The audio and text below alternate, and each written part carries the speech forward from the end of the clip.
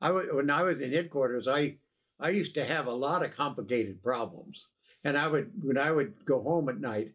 In some cases, I would talk to my my loving wife about. She'd say, "Why are you so upset?" And I'd say, "Well, I had this problem today," and then I would explain to her what all the the factors were, and then she said, "Well, Les."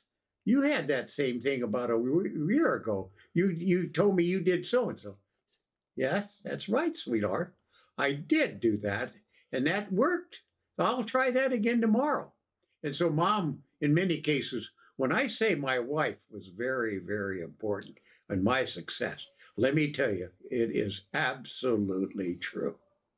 She was a great, she was, she didn't have the academia that I had. I had 20 years of school. I had 12 years of going to school in, in high school, through high school. And then I had another nine years or whatever, two years at Ames and three at the academy and, and then the War College and, and then I had law school and so forth. So I had a lot of law, a lot of training. But your mom was really smart about people. She really, and she she helped me with people. She just was uh, she, and and, and I, I was not as sensitive to people and what people how they react.